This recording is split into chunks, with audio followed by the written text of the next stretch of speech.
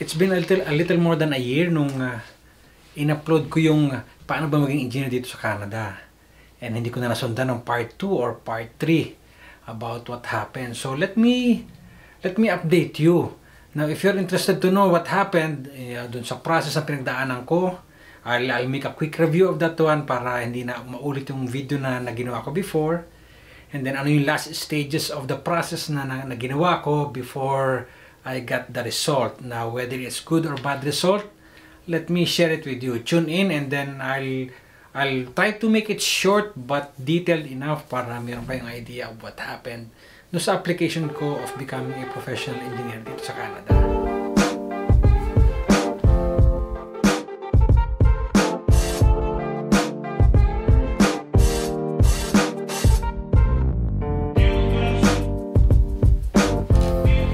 Kamusta? Mr. Barurot here. And uh, thank you for for tuning in. So I'm here now in, in, in my home office dito sa bahay, of course. And uh, I don't know, ah, palauwi siguro ako ng trabaho kaya ito. Pero I thought of, since andito na din lang ako, nakikita yung ginagawa ko, I thought of, let me set up my camera in front of me and then try to discuss with you and update you na, na rin dun sa pinagdaanan kong proseso of applying to become a professional engineer or a licensed engineer dito sa Ontario, Canada.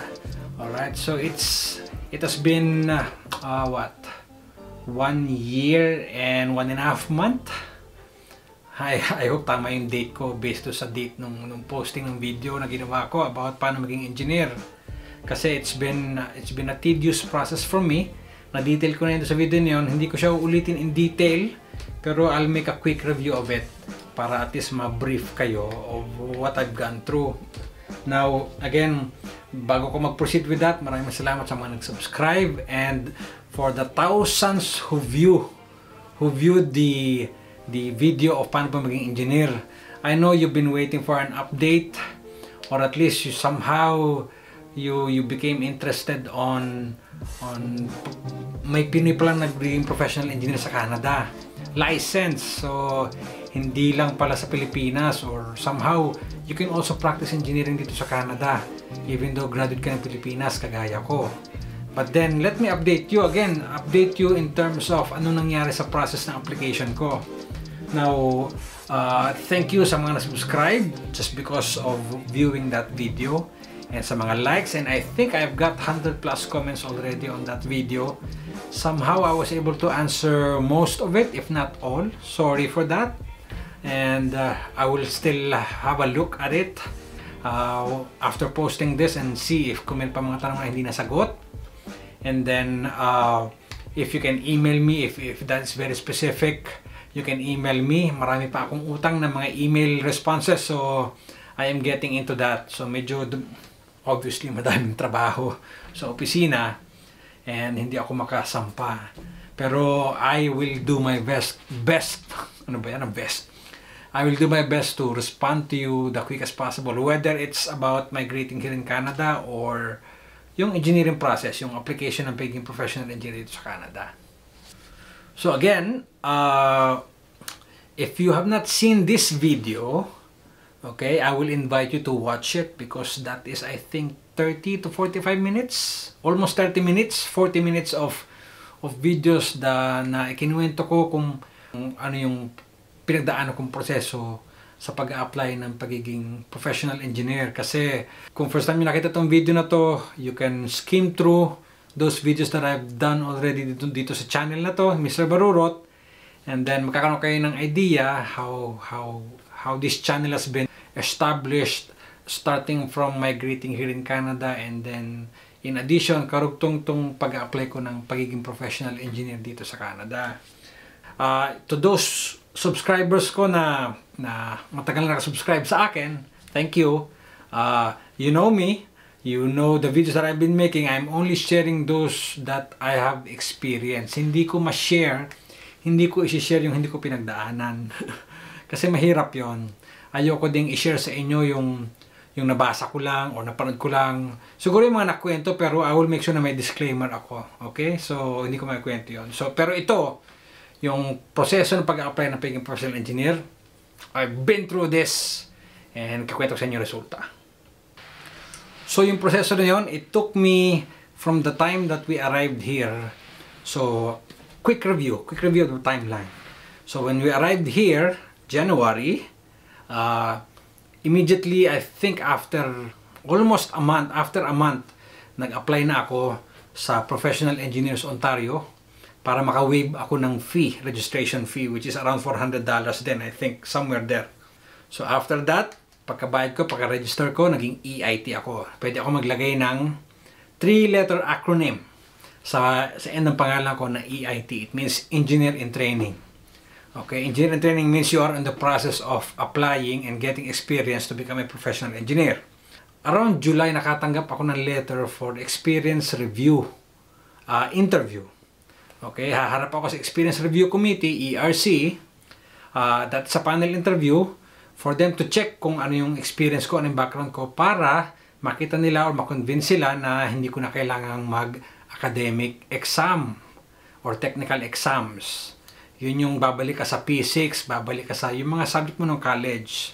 I was able to make my interview around August, September of the same year of, appli uh, of application. And then, uh, I was able to get through that. Kasi naipasa ko yung interview. Okay, so from that, binigyan ako ng go signal ng Professional Engineers Ontario to study for the PPE, that is Professional Practice Examination. And you will be surprised na yung PPE or Professional Practice Examination is about law and ethics. So, wala nang engineering. Kasi yung engineering nandun yung sa technical exam na na-waive ko. Kasi naipasa ko yung interview, nasagot ko lahat ng technical questions nila. So, nag-step up ako, nag-move forward ako sa PPE or Professional Practice Exam. And then, uh, that is, I think, dalawang libro ang binasa ko with that. Ethics at saka Law dito sa Canada.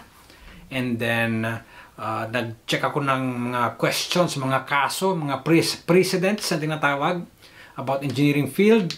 And then, I think around December, uh, yeah, December, I was able to take the exam, sit down. That is a three-hour exam. Okay, so, and that is essay writing. Nabanggit ko na to before, pero just a quick review that those are essay writings. So, you need to do writing a lot. You have to express yourself. You have to express what you have here into your writing. So, you'll have to go to that exam, and I was able to pass that. Okay? I was able to pass that through the help of prayers ng asawa ko, ng mga kamag-anak ko na dasal para sa akin para maipasa ko yung exam. Maraming salamat and I was able to get through that. So, after getting the PPE, after passing that, uh, next thing is experience uh, experience summary.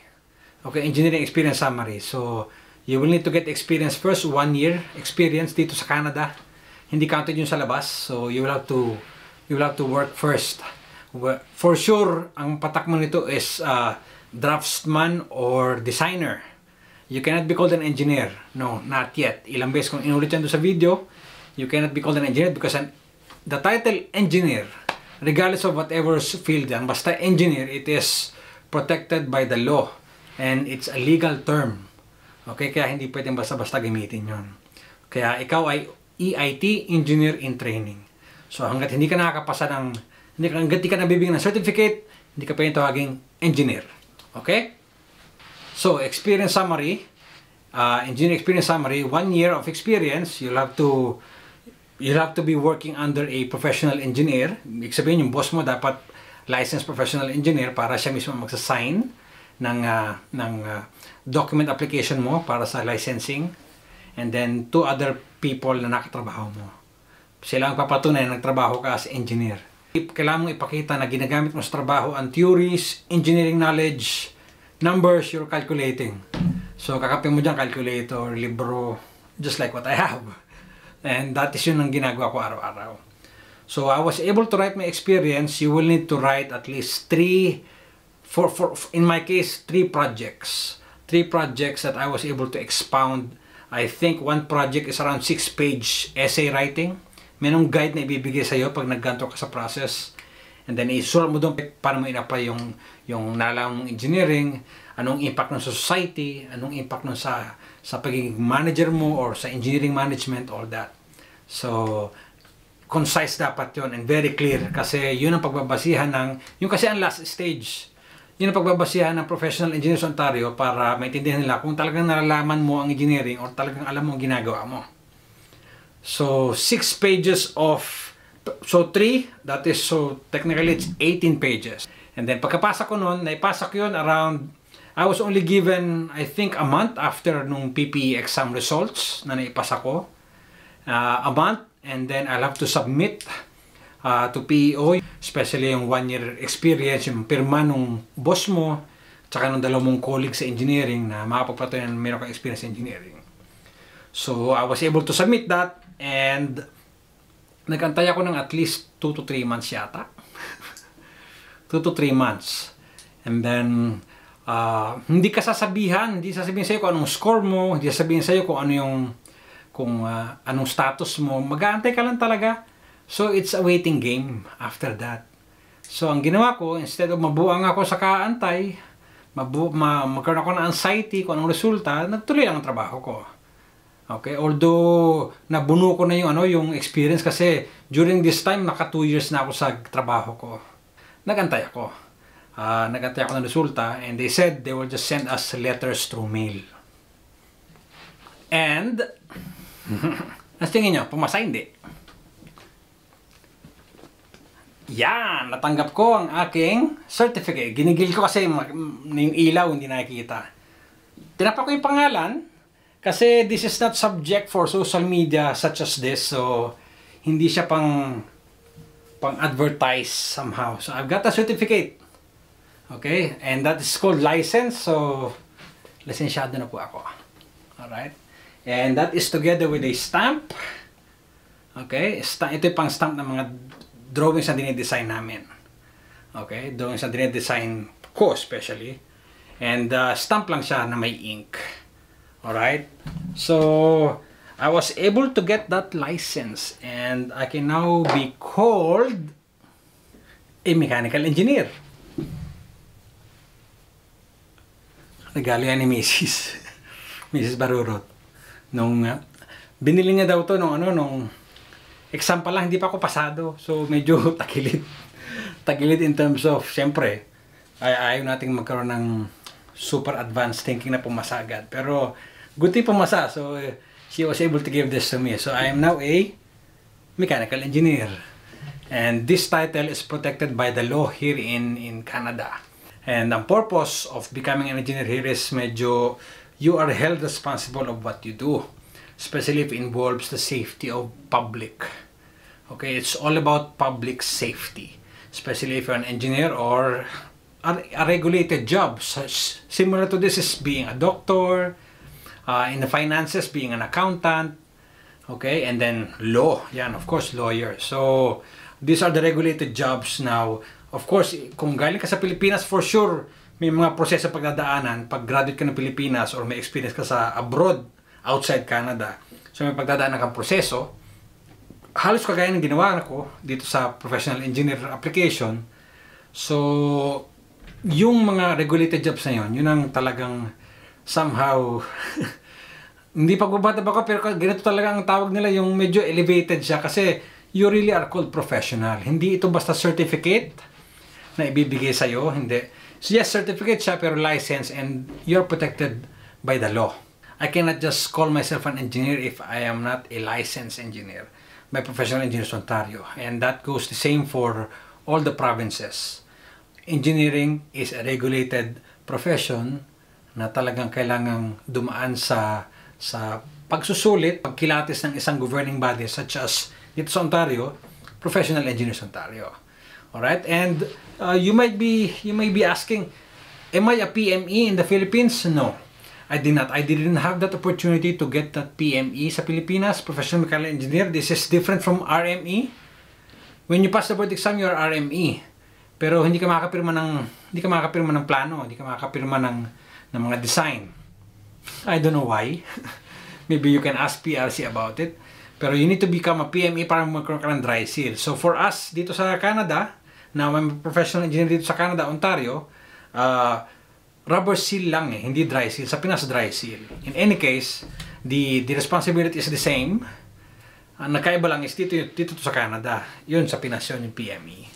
Alright? So, kaya hindi ako nakakuha kasi by the time na gusto kong kumuha, nabigyan ako ng opportunity to fly to fly abroad to work as an OFW. So, that's the story bakit hindi ako kumuha ng PME.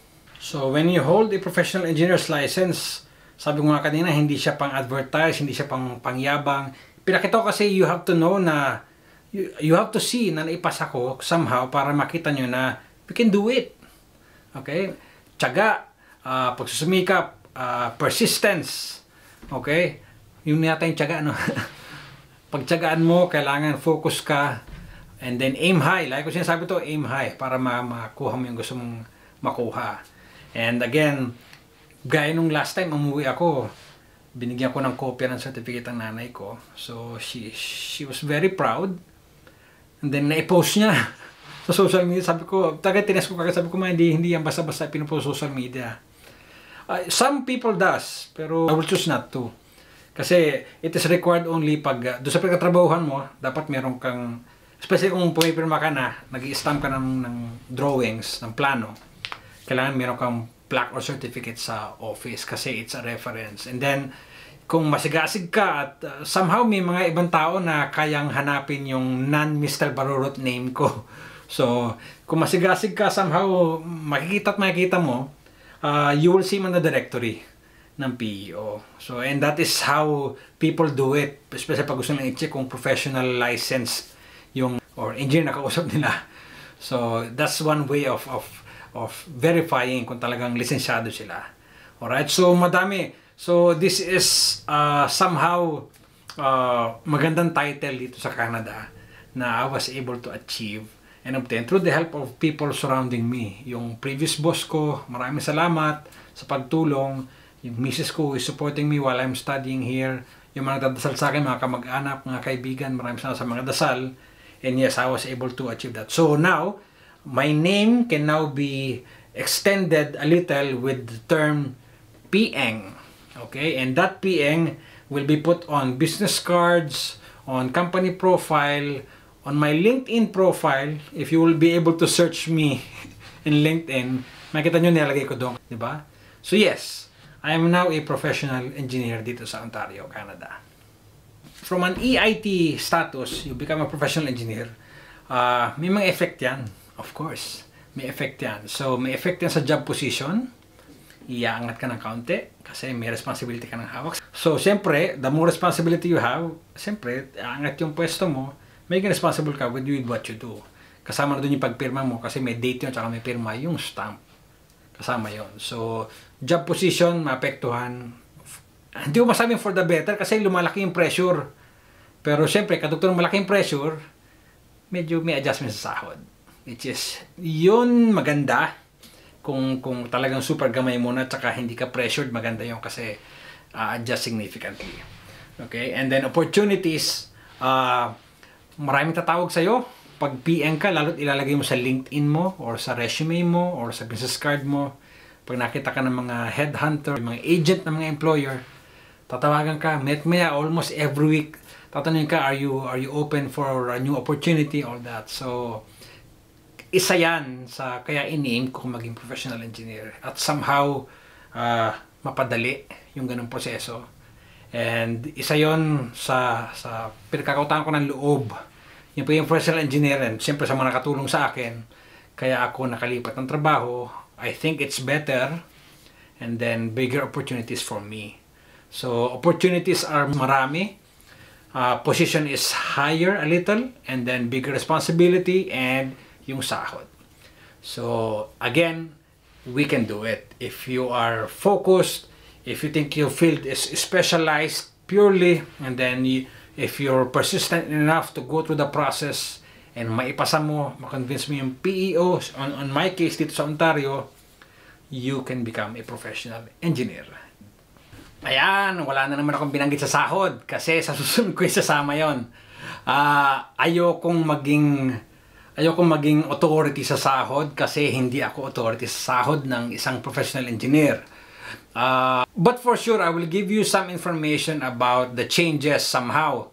Kung saan kayo pwede makakuha ng sources, uh, kung magkano ang sa isang professional engineer. If you are an engineer who is interested to coming here and applying for the same license. Again, this is different from certificate holder. Certificate holder is another honor and recognition, pero ibang license sa certificate holder. Okay, somehow, I am sure about this that license has bigger responsibility compared to certificate holder. Kasi certificate holder is not mandatory, but good thing. Okay, maganda yon. Pero ang license holder is required whenever you're practicing engineering. Alright, so yun ang diferensya. Kaya sa susunod na video, sana hindi abutin na isang taon, isi-share ko sa inyo yung uh, somehow ano yung difference ng sahod ng EIT or even just a mechanical designer, mechanical technician, certificate holder into a professional engineer title, license. Okay? Atatin ko pa kayo para para panoorin nyo ako susunod ulit. Okay? So, yun. Uh, again, ayan. Ha? Confident na ako magsuot. Courtesy of Mrs. Barurot yan. Confident ako magsuot ito kasi I am now entitled into it legal. Hindi ko sinasabing huwag kang magsuot or what, pero uh, I am more confident that if somebody asks me, are you an engineer here or what? Yes, I am. Okay, so with all this, as a part 2, I think napahaba. Pasensya na kayo. Kung gusto ko malaman nyo kasi pagdaan ako para kumpleto. Para mga yung tanong nyo, mga minor na lang. so, salamat sa mga nag-subscribe.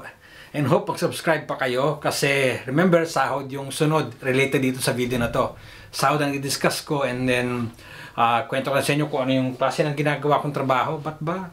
Ano pang ginagawa sa Barurot? Parang, parang wala naman. so, maraming salamat sa subscribe. Maraming salamat sa nag-subscribe. Sa mga subscribers ko, dumadami na sila. Dumadami kayo. Maraming salamat. And thank you for liking and commenting and then watching the watching the videos. I think uh, thousands already na nakapanood ng paano maging engineer.